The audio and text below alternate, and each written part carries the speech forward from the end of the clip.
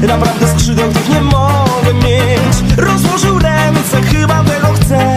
I jego oczy mówią